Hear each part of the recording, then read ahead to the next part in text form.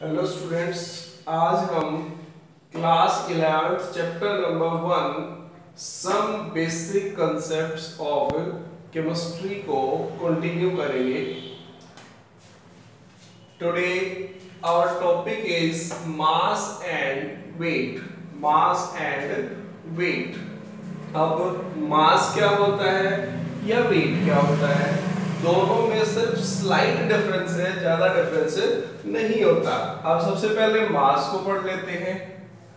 Amount of matter present in substance कोई भी substance है, कोई भी सब्सटेंस है, उस सब्सटेंस के अंदर, वो सब्सटेंस जिस भी मैटर का बना हुआ है, उस मैटर का कितना अमाउंट प्रेजेंट है? उस मैटर का कितना अमाउंट प्रेजेंट है? उसको हम क्या बोलते हैं? मास। ठीक है? तो मास क्या है? किसी भी सब्सटेंस के अंदर मैटर का कितना अमाउंट प्रेजेंट है, वो क्या होता है उसका? मास। ठीक है? अब बात करते हैं वेट की। वेट क्या है? वेट मास ही होता है। वेट क्या होता है? मास ही होता है।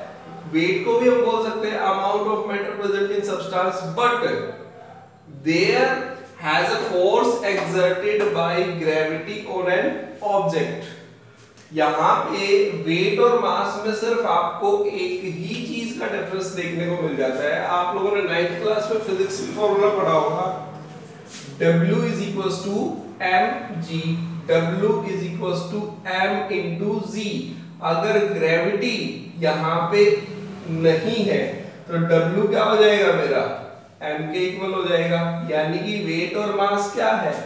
एक ही चीज़ है, अगर उसके अंदर ग्रेविटी की वैल्यू इंक्लूडेड है तो वो क्या बन जाता है? अगर ग्रेविटी इंक्लूडेड है देन इट इज़ वेट अगर ग्रेविटी इंक्लूडेड नहीं है देन वेट और मास क्या होते हैं? इक्वल होते हैं, ठीक है?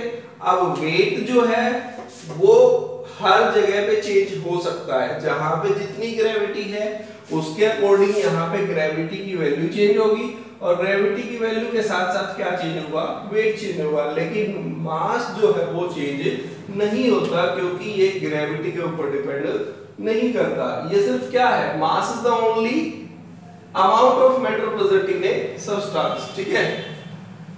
अब यहाँ पे जो हमें मास या वेट की एसआई यूनिट देखने को मिल जाती है, वो होती है केजी जो हमने लास्ट लेक्चर में भी डिस्कस किया था।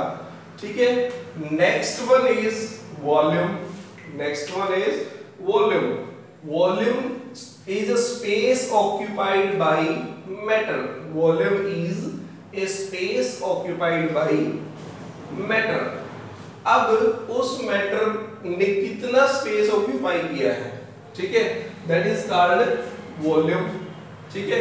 अब यहाँ पे वॉल्यूम की जो एसआई यूनिट हमें देखने को मिल जाती है, वो होती है मीटर क्यूब कौन सी होती है? मीटर क्यूब लेकिन जो पॉपुलर यूनिट्स है लिक्विड्स के केस में, वो कौन सी होती है वॉल्यूम की? लीटर क्लियर अब हम बात कर रहे हैं टेम्परेचर की। टेम्परेचर क्या है? Temperature is a degree of hotness और कोल्डनेस टेम्परेचर जो है किसी भी ऑब्जेक्ट की हॉटनेस और कोल्डनेस को मेजर करने के लिए पैरामीटर है, ठीक है? That is the degree of hotness और कोल्डनेस अब टेम्परेचर की मेरे को यहाँ पे तीन स्केल मिल जाते हैं। ठीक है? तीन तरीके से मैं यहाँ पे टेम्परेचर को क्या कर सकता हूँ? मेजर कर सकता हूँ। First one is Celsius scale जिसको हम कहाँ से कहाँ तक पढ़ते हैं? Zero degree Celsius to hundred degree Celsius second one is Fahrenheit scale इसको हम पढ़ेंगे 32 डिग्री फारनाइट से 212 डिग्री फारनाइट तक. और third one is Kelvin scale Kelvin scale को हम पढ़ते हैं 273 केल्विन टू 373 केल्विन अब इन सेल्सियस स्केल को आपस में एक दूसरे में कन्वर्ट करने के लिए हमारे पास कुछ फॉर्मूले हैं। वो फॉर्मूले मैं आपको यहाँ पे बता देता हूँ।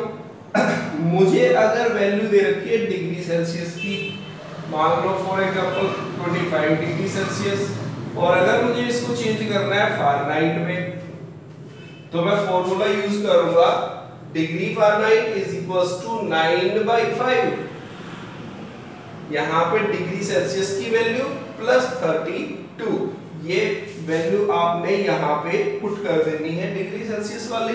आपकी जो डिग्री सेल्सियस की वैल्यू है वो किसमें चेंज हो जाएगी? फारेनहाइट में चेंज हो जाएगी। वैसे ही अगर मैं चाहता हूँ कि मैं यहाँ पे डिग्री सेल्सियस में मेरे को वैल्यू दे रखी है और मैं उसको किसमें चेंज कर दूँ? केल्विन में चेंज कर दूँ तो यहाँ पे मैं डिग्री सेल्सियस की वैल्यू को पुट करूँगा। जैसे ये 25 दिया है तो मैं 25 को यहाँ पुट करूँगा और वो किसमें चेंज हो जाएगी? केल्विन में चेंज हो जाएगी। क्लियर और यहाँ पे जो मुझे ऐसा यूनिट देखने को मिल जाती है टेम्परेचर की, वो कौन सी होती है? केल्विन कौन सी होती है? केल्विन उसके बाद हम बात करते हैं density density is the amount of mass present in unit volume एक फिक्स यूनिट वॉल्यूम के अंदर जो है, कितना मास प्रेजेंट है? कितना मास प्रेजेंट है? That quantity is known as density और यहाँ पे मुझे डेंसिटी की जो ऐसा यूनिट है, वो देखने को मिल जाती है kilogram metre cube inverse, kilogram metre cube inverse या kilogram per metre cube clear उम्मीद करते हैं चैप्टर को समझने में आपको काफ़ी हेल्प मिली होगी, ठीक है? Thank you